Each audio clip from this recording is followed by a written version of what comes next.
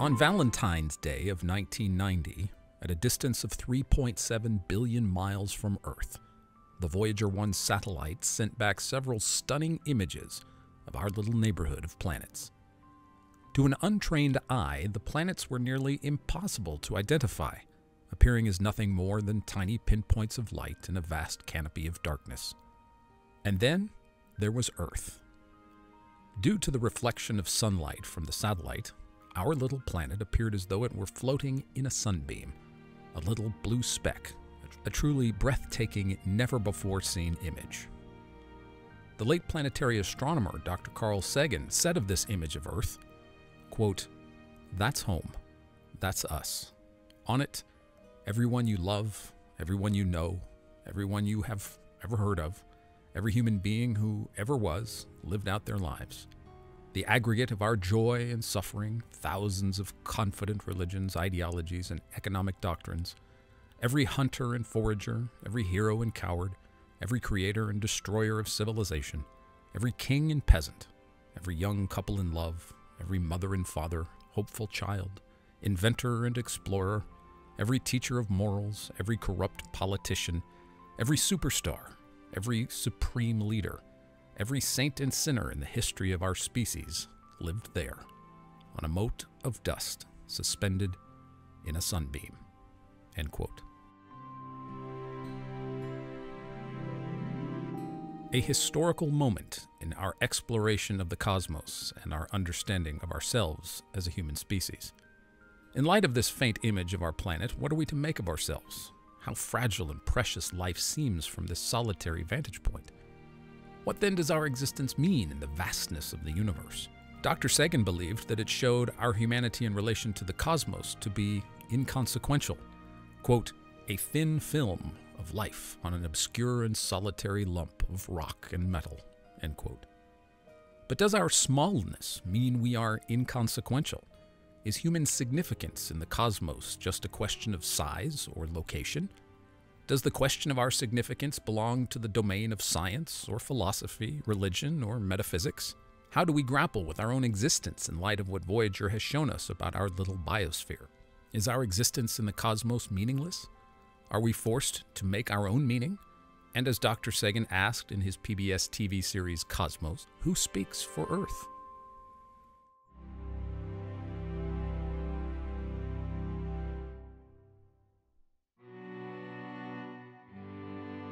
There is a new book from the Sagan family that explores these very questions, written by Dr. Sagan's daughter Sasha, titled For Small Creatures Such as We. In the book, she continues the secular interpretations of our existence and the universe, her father espoused, while honestly grappling with the quest to find meaning and community without a belief in God. Sasha is a gifted writer and communicator and offers a candid look into her upbringing, her Jewish roots, exposure to Christianity as a child through her nanny, and her efforts in making secular traditions for her own family. As Sasha writes, quote, my parents taught me that the universe is enormous, and we humans are tiny beings who get to live on an out of the way planet for the blink of an eye. And they taught me that, as they once wrote, for small creatures such as we, the vastness is only bearable through love. End quote. So come and see what Sasha has to share about her new book, her remarkable parents, the universe, and how love bears her up through the vastness of the cosmos. Sasha Sagan holds a degree in dramatic literature from NYU. She has worked as a television producer, filmmaker, editor, and speaker, and her writing has appeared in New York Magazine, O, the Oprah Magazine, Violet Book, and elsewhere. For Small Creatures Such as We is her first book.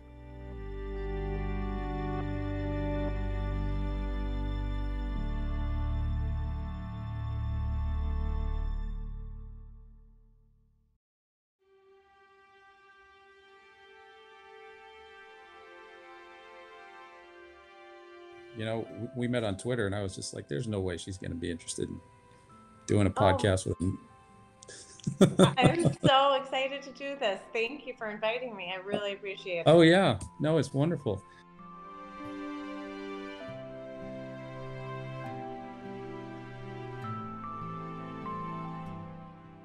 Uh, we will play this on the 9th of November. Uh, Wonderful. Which, Saturday, which is uh, your dad's birthday, isn't it? Or no, when is your dad's birthday? that's It's it's this Saturday, the isn't ninth, it? You're right. Yeah. Yeah, So our- would be 85. Yeah, Our, our book club is going to be uh, meeting on Saturday. that's so lovely. Oh, that's perfect. know. So we're meeting on your dad's birthday, which is really cool. That's really nice.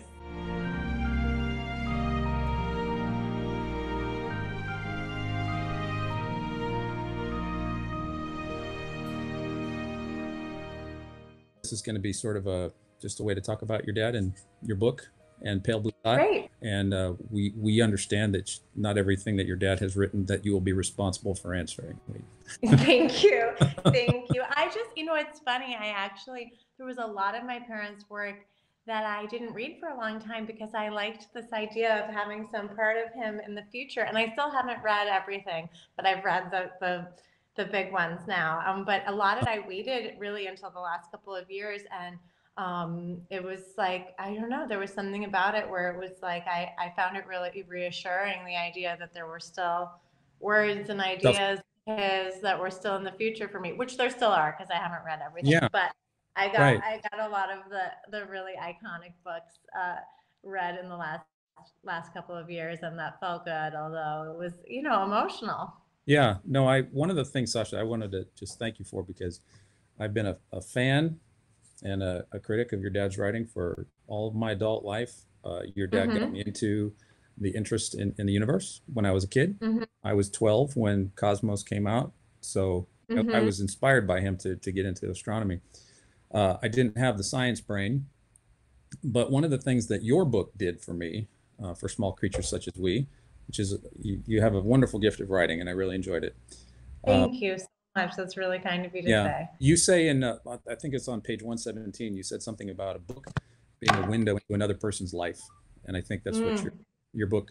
I mean, kudos to you for being so vulnerable with what you shared. You know, because there's a Thank you.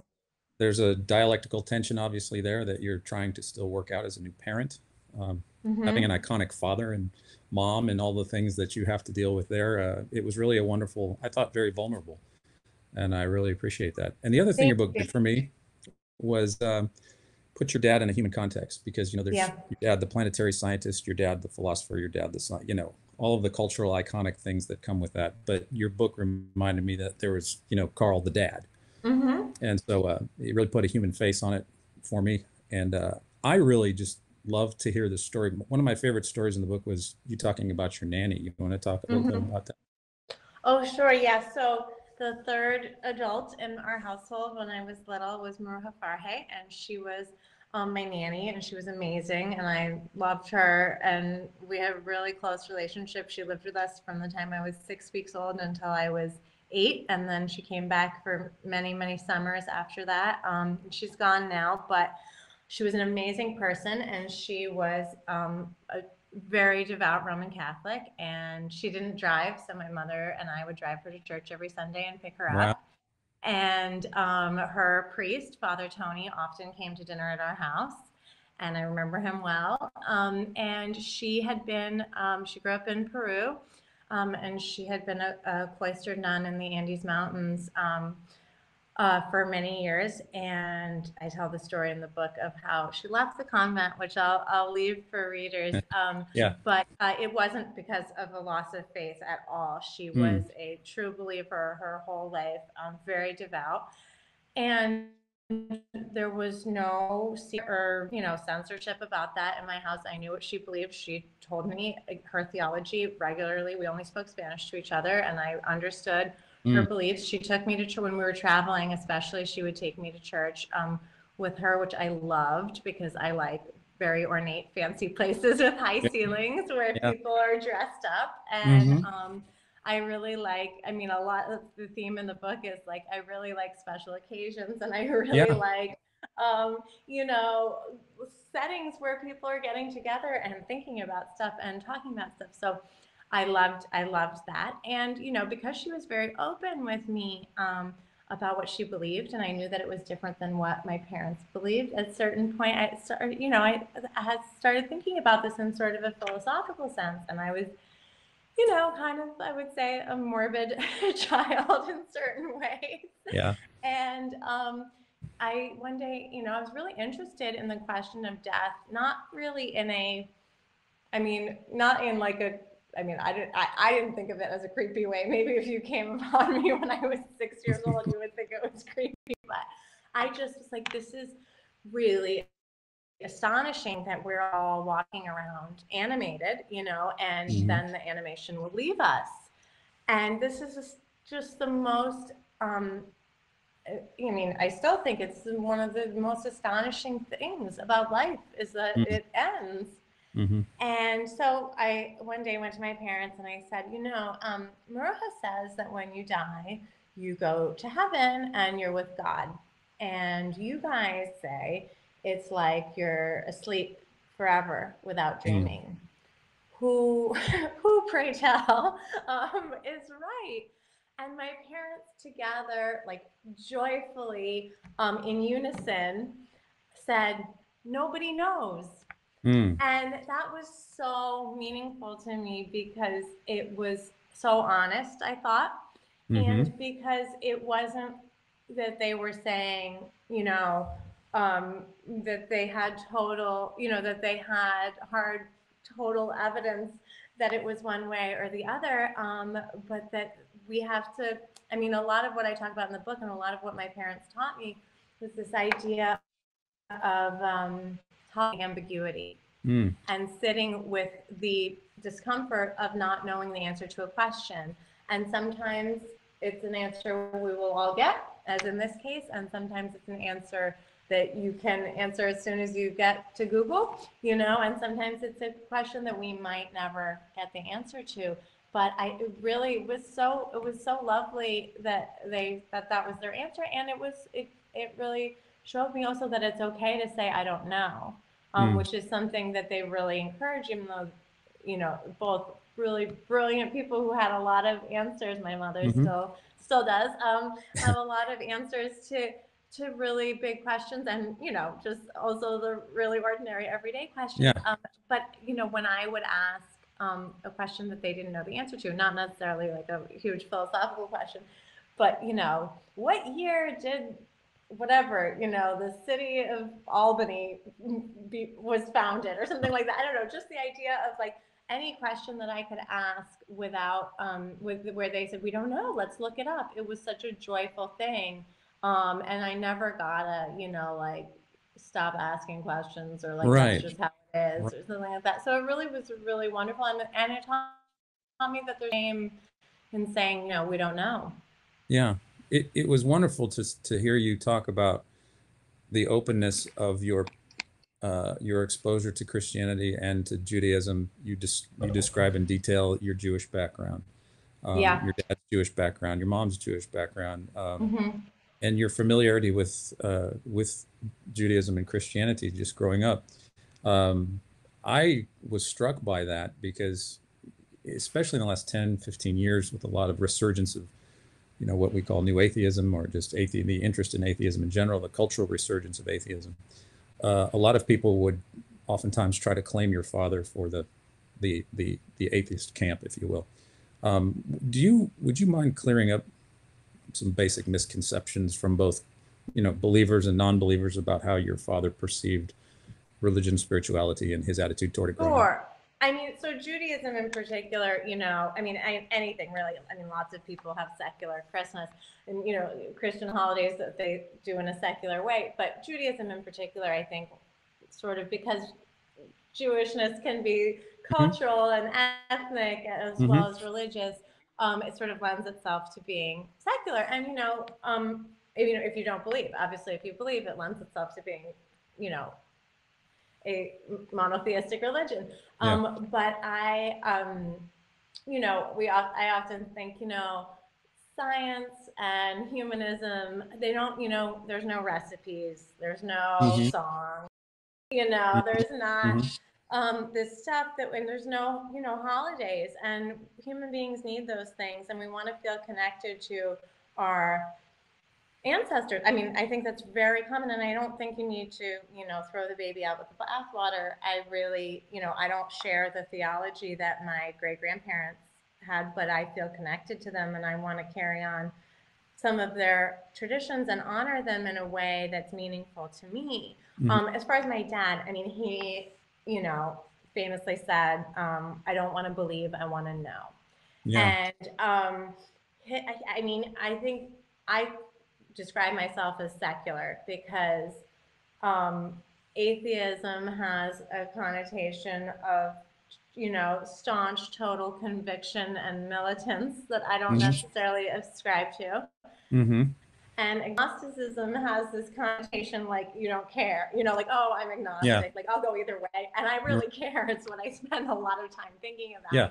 So Right. I, I really um, uh, think of myself as secular, and my philosophy is, um, you know, is is the same as my parents, and the same as um, the way that my father raised me, which was my parents raised me, which was that belief requires evidence. And Mm. so I just try to sit in that place where I withhold belief without evidence and say, you know, if more if there's more information in either direction i will i will go where the evidence leads me but until then i think there's so much and this is really what the book is about there's Yeah. so much that is provable and verifiable that is worthy of celebration and is meaningful and can give us that spine tingling thrill that makes us feel connected to each other and to the universe Mm-hmm.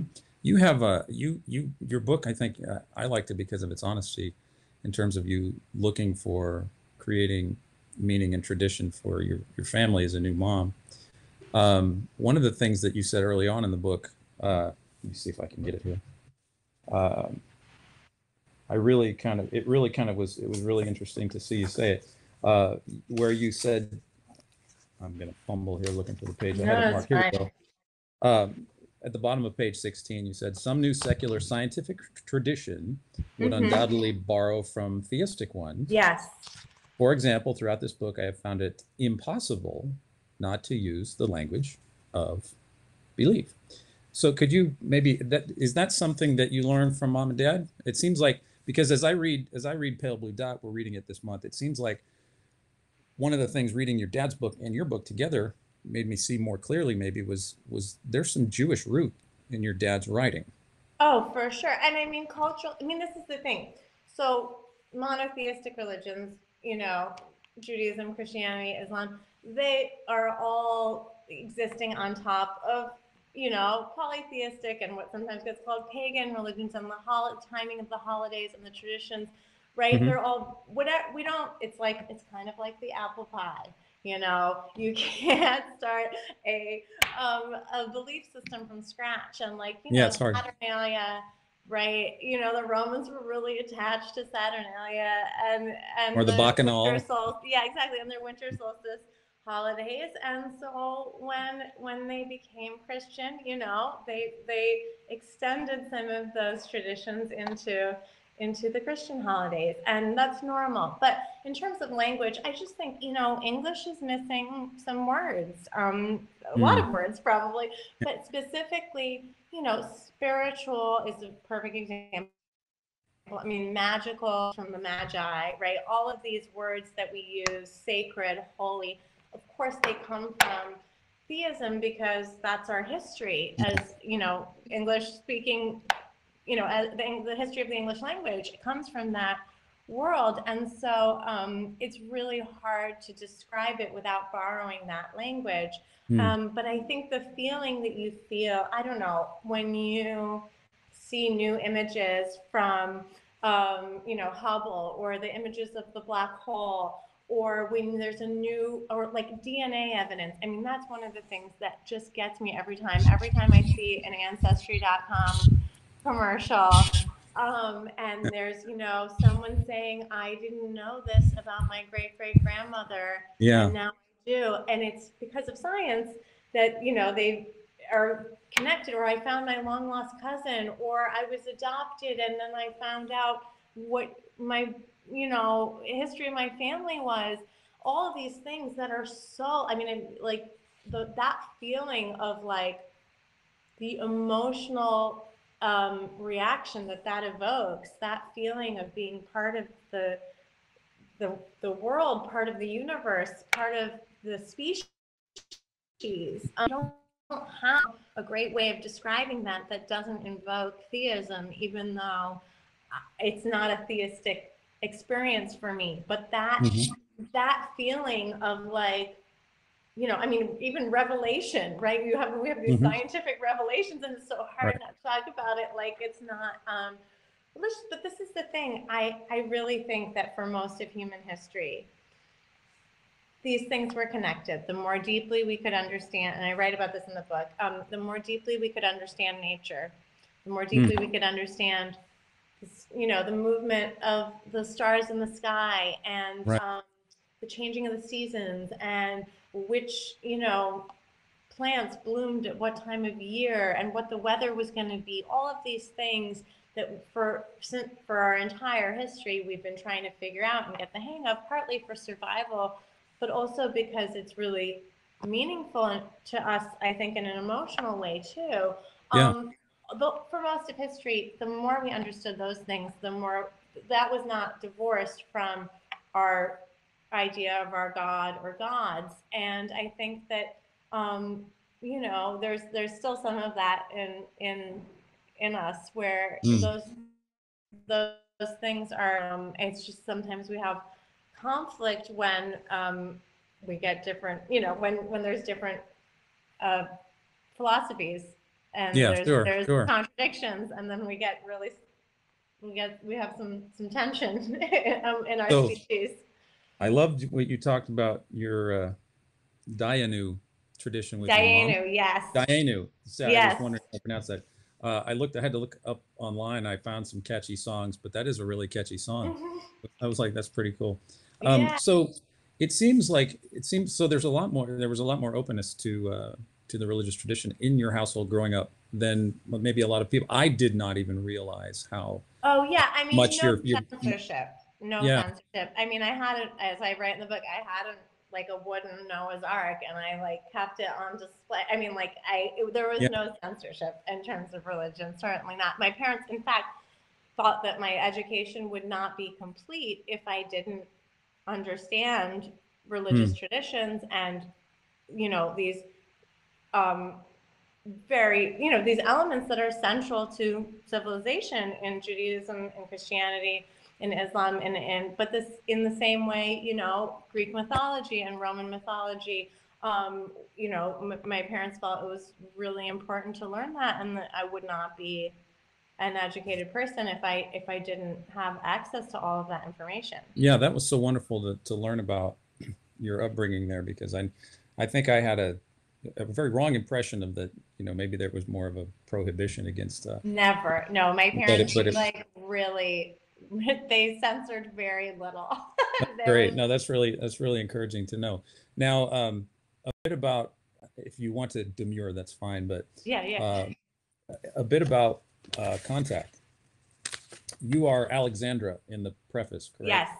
That is yes. the- you to Sasha is the Russian Sasha is the Russian diminutive for Alexandra. My father's father was born in Ukraine. Um, Yeah. So we, I was, I, I, my, my real name is Alexandra, but everyone calls me Sasha. That's great. How did you get Sasha? How did that come Uh, from? they always called me that, and there was like a period of time, probably like when I was like in third grade, where and I we lived in you know like you know it was like the 80s, and I was like I really want like pencils and barrettes and little tiny license plates with my name on it, and they don't I Uh-huh. don't I can't get any with my weird Russian name. And so I went through like a period of time where I made everyone call me Alex. Um, and some of my friends from home, because I still have the best friends I always have had, some of the boys still call me Alex. They just they're like, we're not we're not switching back. Um, but Mhm. everybody else calls me Sasha. But yeah, I mean it's it's um, my family from I mean they they called me Sasha from when I was born. I think it, it, they felt like Sashi is like a little like you know cute name for a baby, whereas Yeah, like yeah. Alexandra was very like that, Yeah. or even Alex is very adult for a little baby. Right. Well, that was really cool to know because I didn't know for the, I like Contact, I really do, and I actually like the book better than the movie. So, uh, your mom and dad worked on it, I feel like that happens with books and movies. The Yeah. books, you know, and your mom and dad worked on this together. Is that correct? absolutely. They, so they they started out. They wanted it to be a movie. They they saw it as a movie. Mm-hmm.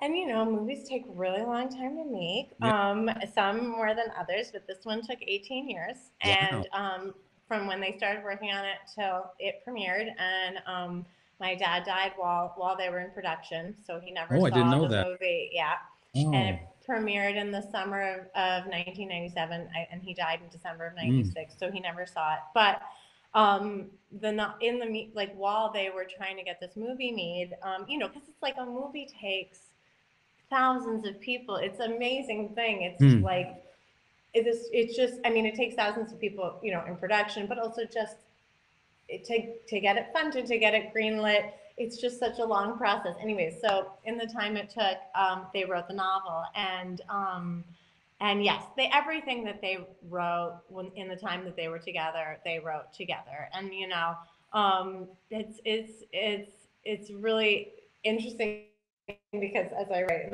the, the, title of my book comes from a line in, in Yes. contact and um, it's actually a line that my mom wrote um, and Hmm. it's beautiful yeah, it is. It, it, that's one of my favorite lines that your father has ever written, but with the the love, the yeah um, in our. But just this is an aside. Uh, Yeah.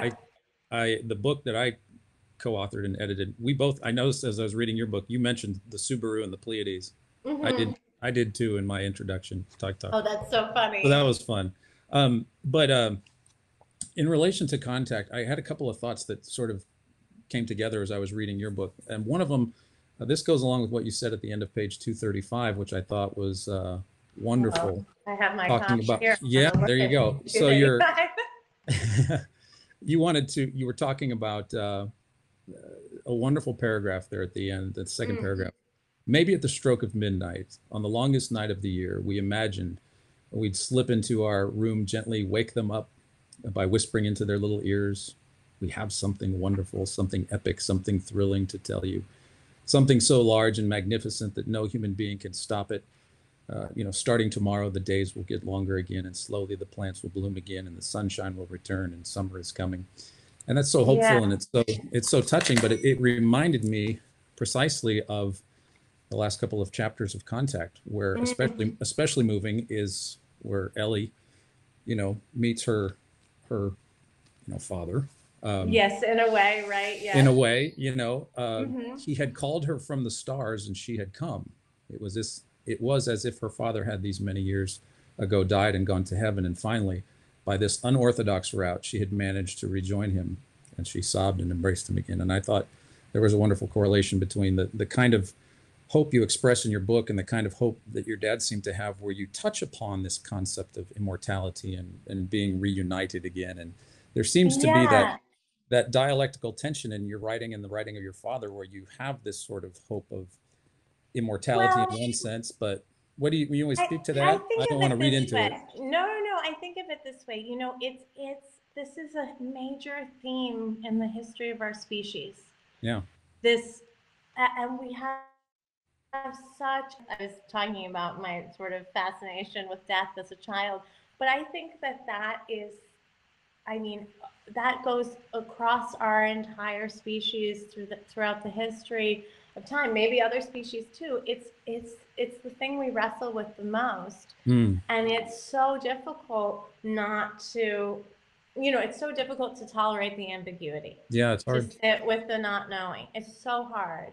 It's so hard. And of course, our desires, our deepest desires are that we're going to see. I mean, as I, as I write, my dad told me, you know, he wished more than anything that he would see his parents again, Hmm. but he had no evidence um, to suggest that he would.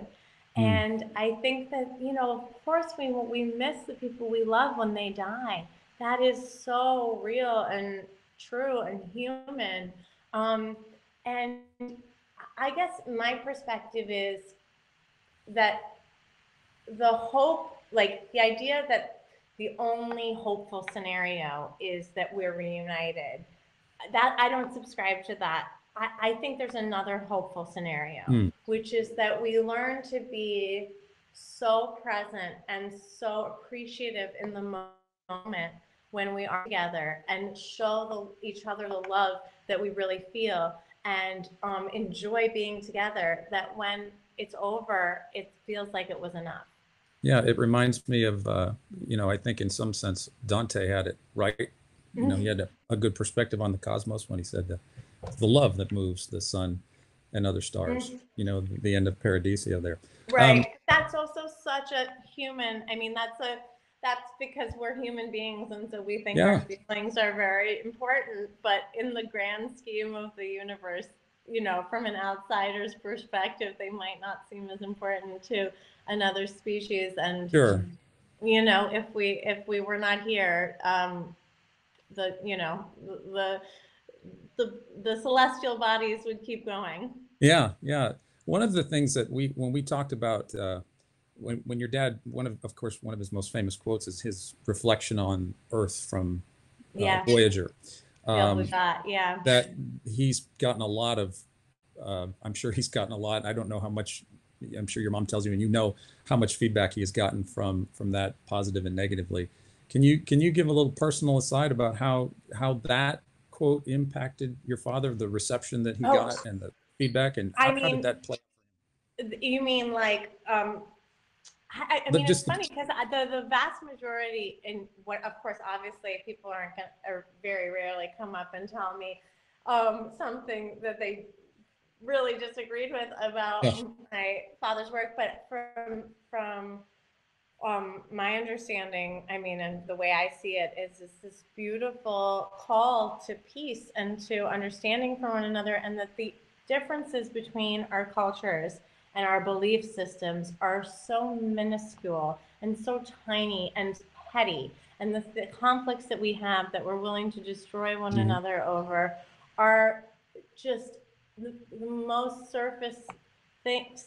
Um, uh, unimportant things compared to the idea that we have this little home in this great vastness and we are in it together no matter what. And I mean, the idea of looking at that little dot and realizing that um, in all this vastness, here we are together.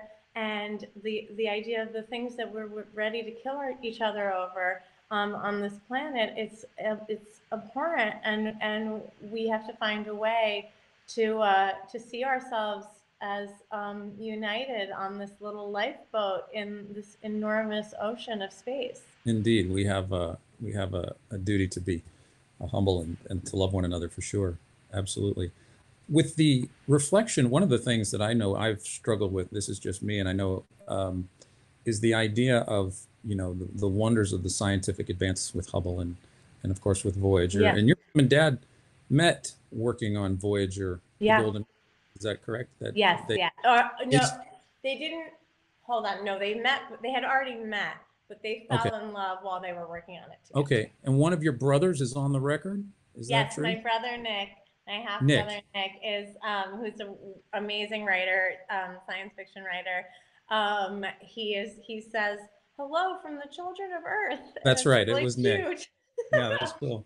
Um, so, with the idea that we're talking about science and love and tradition, uh, in Pale Blue Dot, your dad spends a few chapters talking about you know human significance. And here's one thing where I saw a little bit of uh, Jewish secular mix, a, a sort of dialectical tension between uh, you know our cosmic significance, meaning in life, that the, the, the meaning of love and, and everything that's important to us, the significance of that, versus looking at our smallness and saying that we are insignificant. So there's there's obviously the, the picture of our smallness, um, but in relation to the question of significance, it, it's, it's as your dad saw it. Is that something that he derived philosophically, or it was more a scientific reflection, or how did he come about? Uh, I don't think that there's any, like, I don't, I guess scientifically and philosophically, like, those are one thing to me, I think, and to my dad. Like, his philosophy was science. And sure, like, cultural traditions that were Jewish and things that you do to say it's springtime, like Passover, opposed Yeah. to doing, you know, that's that's one thing. But in terms of actual worldview and philosophy, um, science was the root of that. And like, you know, we're significant to ourselves Mhm. as a species Right. and we but i think that's a different question you know if we feel like you know love our love for one another is really meaningful and important i think that's beautiful and that's great but i don't think that that means it's like um, universal. You know, it just means that this is what we do on this little planet at this little moment. Um, mm. And maybe that's totally great and wonderful, and that's enough for us. But I don't, yeah, and I, I mean, for me, I think it is. I don't think it has to be, you know, universal. I don't think that yeah. it has to, it's just, this is what, this is how, my, um, this is how we've evolved.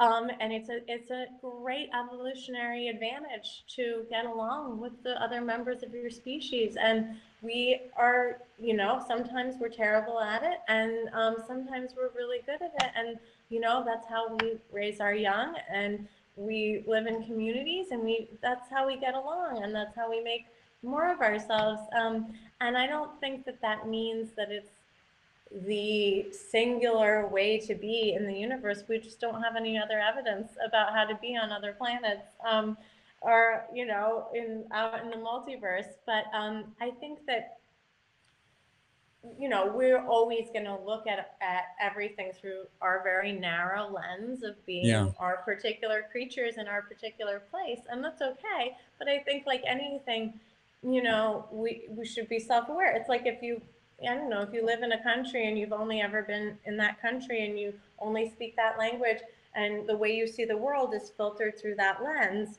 you know, that's okay. But just we have to be aware that it's not the same for all the other right. points of view, you know? Right. Yeah. It's, I think you do a great job of, uh, like your dad did, bringing together some cultural traditions from, from other parts of the world, which is really good. It was really neat how you did that.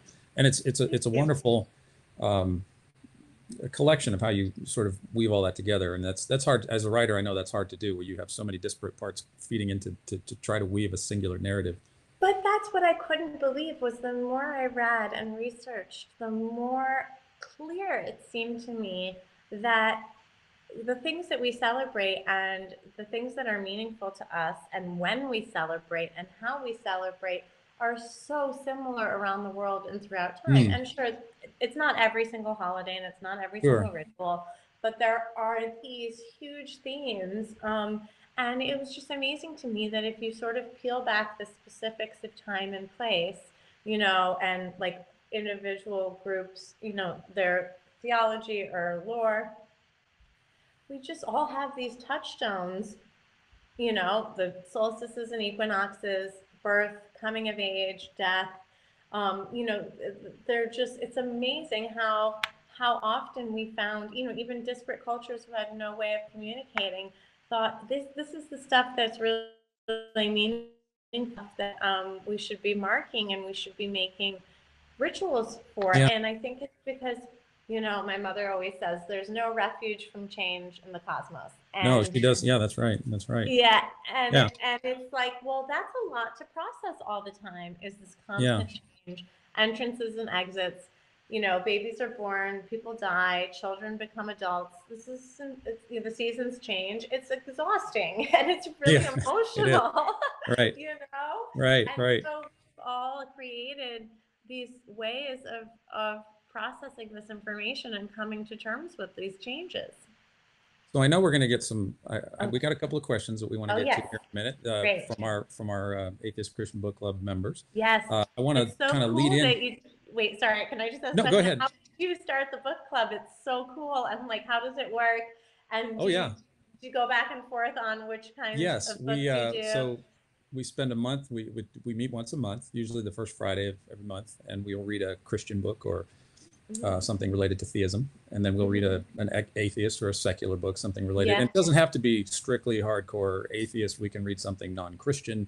Um, right. Um, but generally, we like the polarizing works that get one side or the other. You know, yeah. get us uh, very civil. Uh, there's 15 to 30, sometimes upwards of 40 people that come. Uh, you can see Amazing. it on Facebook, uh, Atheist Christian Book Club on Facebook. We broadcast live, so you'll be able to see I have never had a Facebook account in my life. Oh my goodness! tell okay. me about it. so when it's done, we'll I'll, we'll post the video and I can share it with you. And Perfect. We'll okay, that's um, great. But we've been doing this for a couple years, um, and we have a meal, and uh, we sit down, we talk to each other. Um, you know, nobody has. I don't think there's been any official conversions one way or the other. that you know of. That, that I know of, but we do we do sit down face Has to face anyone, with people. have any two people fallen in love from opposite sides? Uh, I'll have to ask James about that. I don't know exactly. not that, not that he knows. Uh, right, but not that you uh, know of, right. maybe who knows. Um, but uh, so it's it's phenomenal. We're just now starting to get traction, and people are catching on to this. And every time uh, James or Brady, who run the program, go out and talk to churches about it, they're like, "What? What do you do? How, how does that work?" It's, It's the most so amazing thing. People people are like, "What? What in the world?" So uh, just leading into this, so so my little pet question would be, and and this is not to to debate. This is just No, for, I'm, you, I'm for you to share. Okay, okay, we can do that too. Um, I don't mind. I don't okay. mind. First, though, I have to tell you that my my funnest part in your book was you getting into the taxi cab with your husband and Yes. singing the singing the alphabet song with the taxi driver. That was It great. was amazing, and he really did something very meaningful for us. I keep waiting for somebody else to say, "Oh yeah, I was in, you know, I was in DC," and because I, can't imagine that he just out of you know years of doing his job, he just picked the two of us to sing to. He must do it all the time. Someone else out there must have been in Yeah. his past. But he was a really lovely person, and he gave us a gift, truly, and I mean it. It's been this month. It's six years, and we sing the alphabet song every freaking weekend. That's awesome. Amazing. And now we have a two-year-old, so it's like a little less weird. Well, that's but that's really it's cool. really cool. It really Okay, was so- great that you did. Okay, sorry, go on. Yeah, but I, I blew New York. I was thinking Yeah, cab. yeah, you were yeah, from yeah, New yeah. York in DC. yes, I, yes, not- yeah, doesn't matter. yeah, that's where I got it all mixed up. But uh, but that was that was great. Yeah. Um, so my my my question is maybe for you, and I know your your answer for your father will will be dependent or subjective in a sense, but um, for for you or, or dad, how come the universe didn't count as evidence for uh, the existence of God? Because that there's not. Well, how would why would it? I mean, that's it. I mean, it's to say, well, the universe has to be created by something or someone. Well, Hmm. but then did God have to be created by someone or something? Yeah, that's the that's the sometimes that's the question that gets asked a lot. But in a in a Judaic Christian sense, of course, you guys know that God generally is not viewed as being created himself. But I know that Right, that, but so why why can't that be? Why couldn't that? I'm not saying that that's my view, but why couldn't that be Yeah. true for the universe? well, I think in in for me scientifically, you have the option between sort of the universe or the cosmos existing forever, being eternal or infinite. So you have these terms, and this is what I think you know you talk about in your book, the idea of using the, the theistic terms, because I think infinite and eternal, in terms of matter, um, knowing that matter and energy is infinite and etern- and eternal is something that you kind of have to assume like God is eternal. So one way or the other, we assume either. But you, but, but you have to assume God is eternal. Yes, I mean, I mean, that's where you're. That's I guess where I we part ways. Yeah, that that that the question that boils down to: Do I have, I, for lack of just being colloquial, for lack of a better term, just Yeah. is the universe? Do I believe by faith that God is eternal and created the universe, or do I believe, you know, by faith that the universe has always been or is eternal because nobody was no, around? no, no, no, no. No. There's a third way, which is just There We don't, we don't know. We don't have enough information, Okay. but we don't have. I'm not saying that the No, universe is eternal. I'm just saying, as we get closer to understanding that how this started, we may have more information, but that we have to sit with the ambiguity because, to me, saying, "Well, I know by faith that God is, you know, eternal," that doesn't fit in to me trying to understand scientifically how we got here and what how this all started. Yeah. Right. No, and I'm not advocating that we say God is eternal and stop doing science. I wouldn't. uh, That's some people Okay, might say, so but no, I, science requires that we just keep looking for the evidence, and when we don't have enough, we just sit with the ambiguity until we have more. okay. But to right. rather than put something in that comes from a religious tradition um, in the place of an answer that we don't have yet. Yeah, that a lot of people will say that would be like the God of the gaps. Well, we don't know how mechanistically the universe came to be, so therefore God. But I think Well, but there are so many things that were theological that we had these theological answers for, like mental illness, or like earthquakes, or like you know, um, uh, all sorts of plagues and uh, crops going bad, and all of these things that for our history um, as a species we we didn't know what was going on, we didn't know what happened, and and and those things over time have moved from the theological spiritual explanation to a science scientific explanation. I mean, you know, tectonic plates, like once we got that, we stopped feeling like we were being punished when there was an earthquake. I mean, maybe not everyone, but fewer people felt that way. Right, right, Um, right. and I just think, um, more things will move from column A to column B over time. And what I hope is that we can still have a sense of awe and majesty Oh, yes. about them the way we do, you know, when you're in like a really wild thunder and lightning storm, even if you're a meteor, I mean, you see it all the time, meteorologists who are scientists who are, are you know, totally obsessed with weather and honor this science by studying it and chasing it and obsessing with it. You see it with them. They have the same, I mean, just because they're one of the kinds of scientists who are on TV the most. Um, You're right, right. They're like awe and wonder. And I mean, it feels like kind of a spiritual thing. And I think that's so great because to understand something more deeply, how it works, shouldn't rob the splendor and beauty of it. Oh, no, no, And not at all. We so- agree. We agree. Absolutely. If you, if you Yeah. figure out internal combustion engines, it's, they're still pretty cool. Um, Yeah. My, uh, I want to, we want to go into a question from one of our, I think Oh, we're gonna great. James. Uh, James is the president of our book club and of Watchman Fellowship. And he Awesome. has, Hi, James.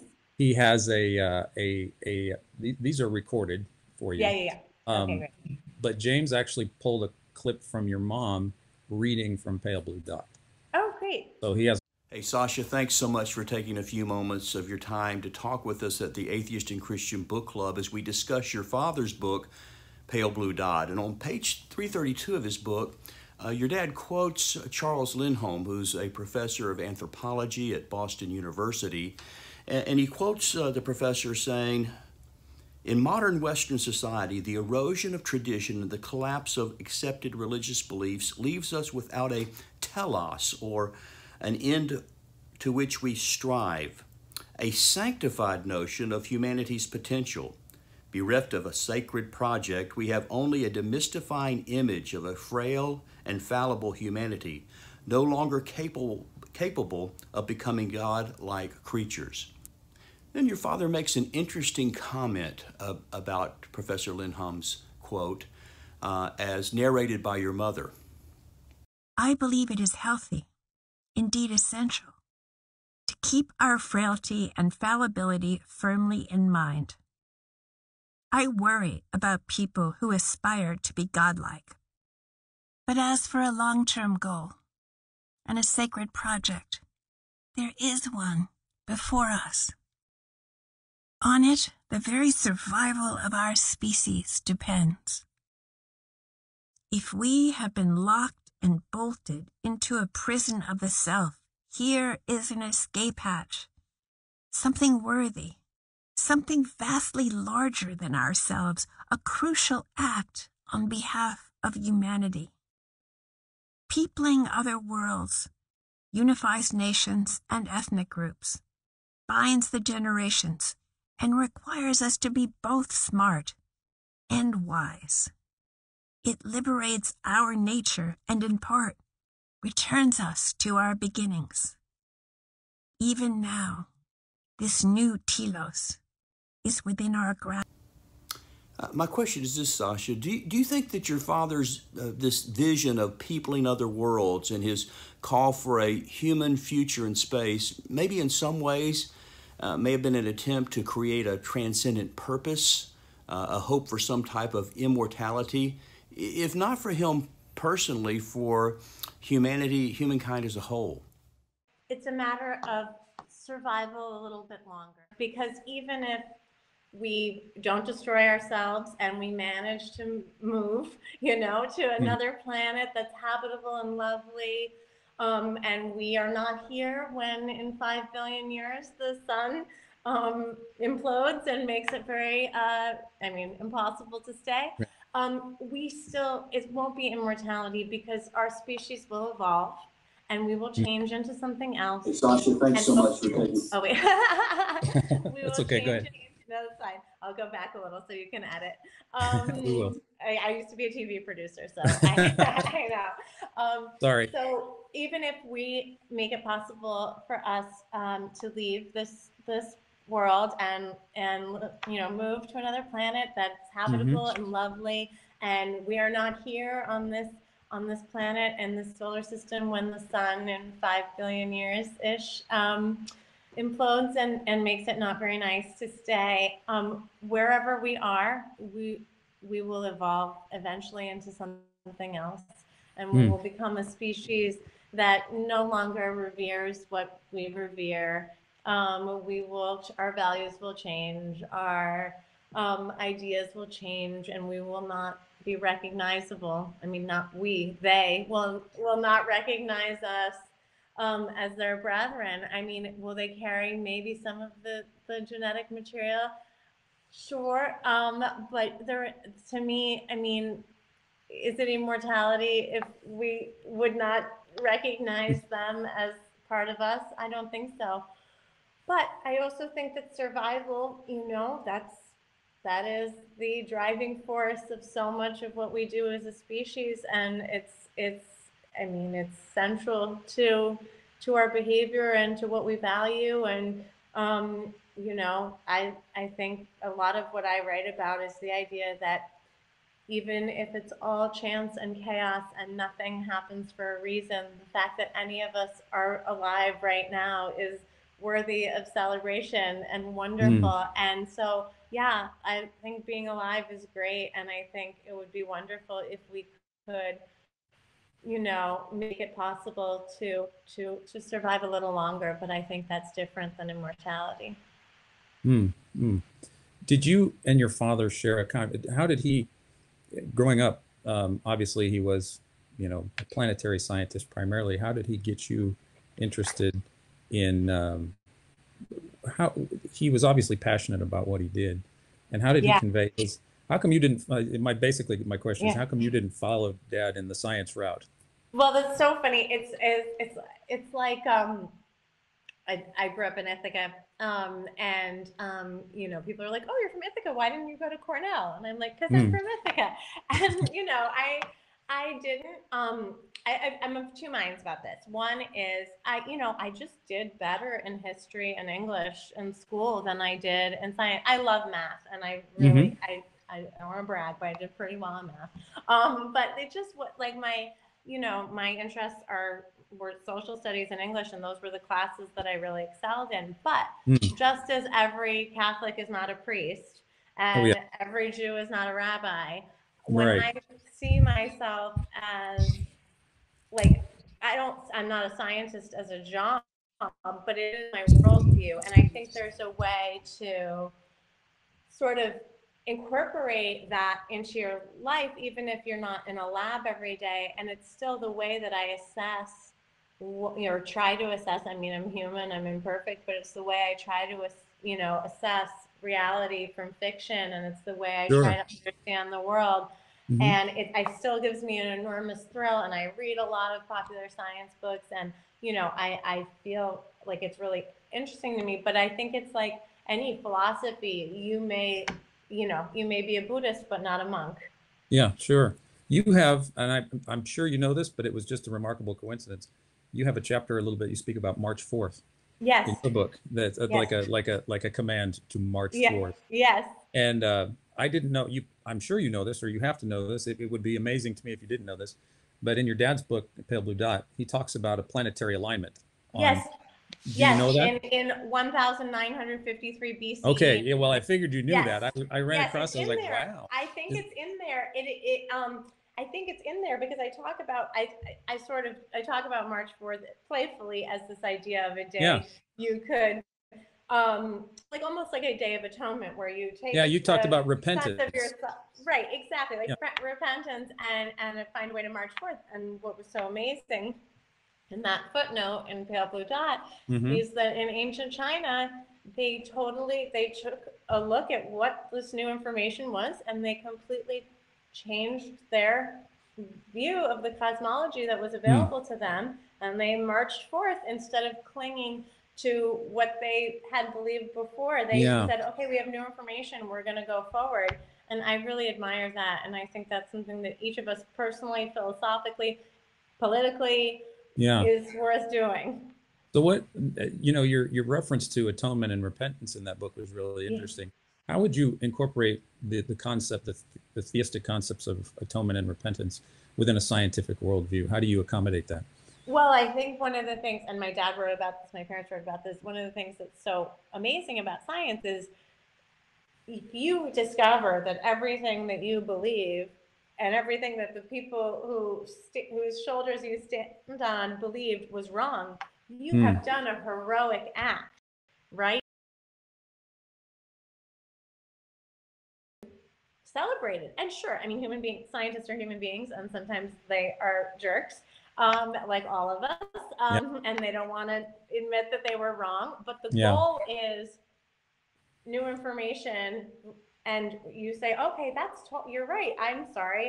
You know, I, I was totally mistaken about Hmm. that, and now I can clearly see that you know the Earth goes around the sun and not the other way around, or whatever it is. Yeah, And, yeah. Um, and that that's a value, and I think that there's something about that that we can you know, that it doesn't require, um, I mean, I think, I don't think it requires um, faith to think, to, to, and I think that science actually really encourages this idea that saying, oh, I was wrong about that, now I get it, is a really good thing.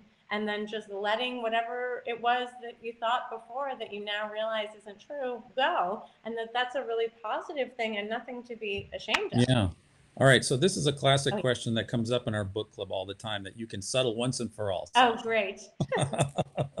uh, and I'm not so so that we hear this all the time. It goes back and forth, and it, it brings up a lot of uh, to do, and we don't go very very far past it once it comes up sometimes. But so does science dis, does science disprove theism or God's existence? I, I don't think it disproves it. I just think that it it's not doesn't provide any supporting evidence. And so if you're looking for evidence as the pathway to understanding, because human beings, you know, it's really how do we know what's real or not if if if, it's if we don't have a way of testing it Hmm. you know and um and i think that it's not that it disproves it it just hasn't provided any any supporting evidence um thus far So okay, we are going to go to another Yes. question, and this will be from one of our atheist members of the book club. I think this is Chris. This is Chris Bielfis. He's one of our atheist members. He's a regular attender, and he has a question for you. Hi, Sasha. My name is Chris. Thank you for taking our questions. Now, one issue that's been brought up in our group multiple times is how non believers can address questions of morality without some sort of God given framework. I was curious how your father taught you how to be a moral person without referring to divine authority, scripture, or anything of that nature.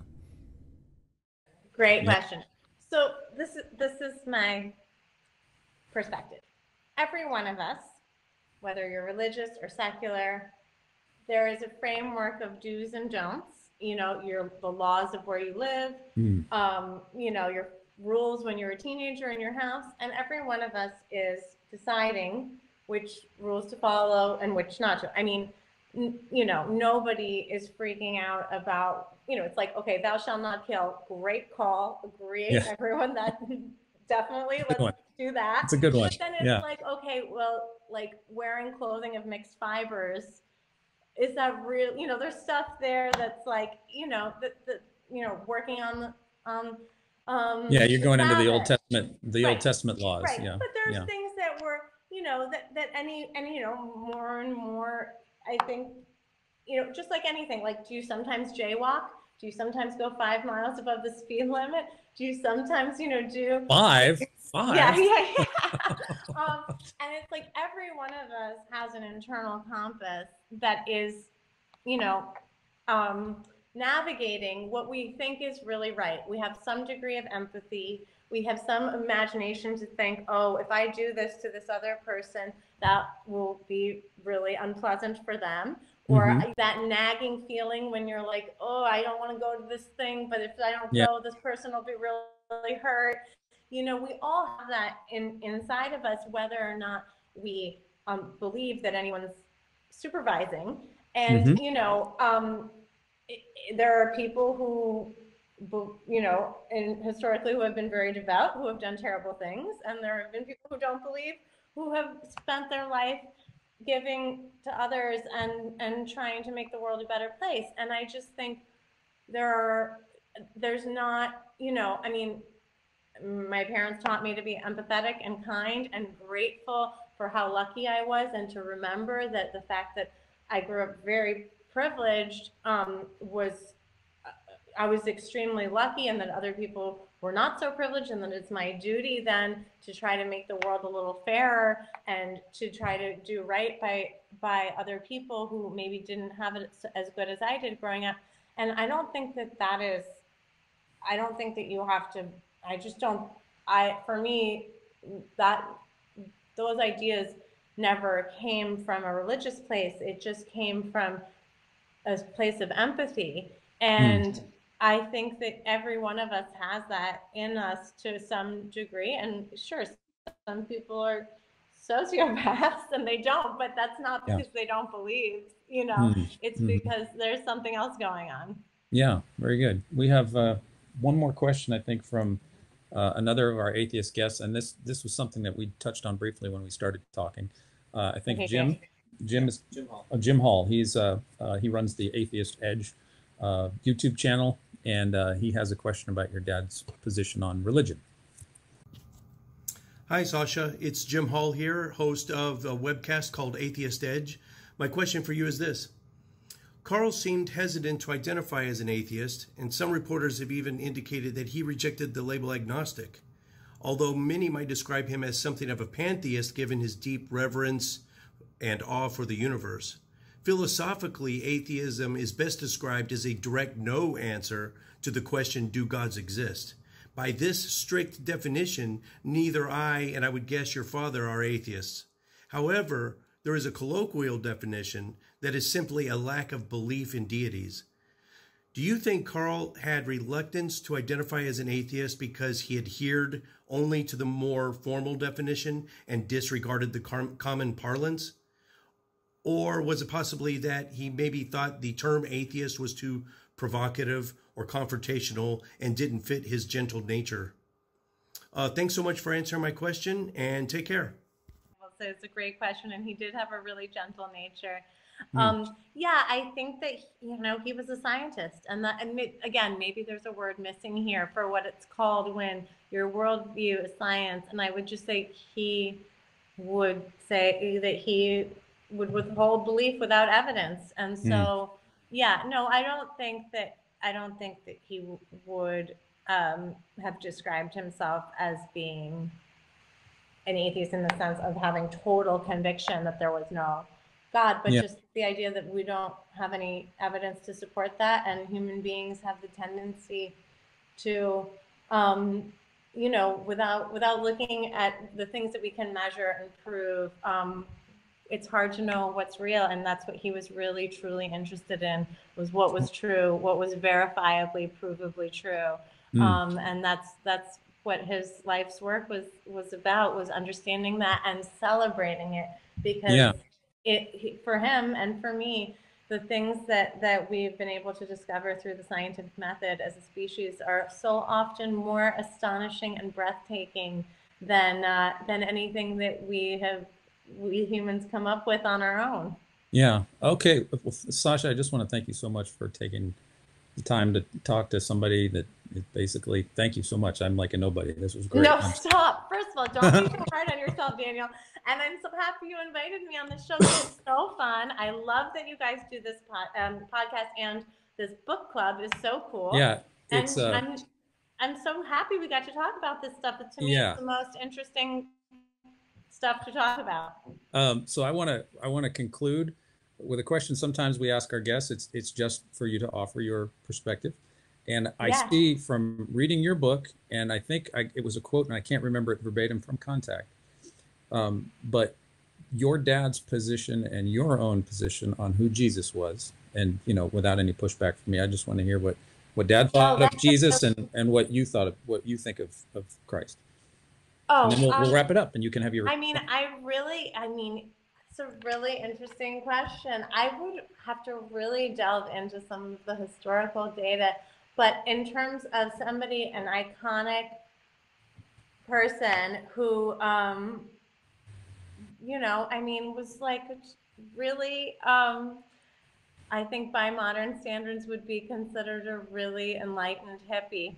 Um, and I really admire that. And somebody who really, you know, I think that's a really wonderful thing. And Uh-huh. um, somebody who really was interested in treating people equally and um, who, uh, you know, didn't didn't see a lot of the distinctions um, between groups that are so central to yeah. um, the way we organize ourselves today, um, sadly. But your dad, in uh, from the contact quote, your dad, your dad was not a, a mythicist. He did believe in the existence of Jesus of, Nazareth as a, as a person, anyway. Correct? I think so. I don't. I'm gonna have to ask my mom. I don't know. I I think so. We have to. we have to. Yeah.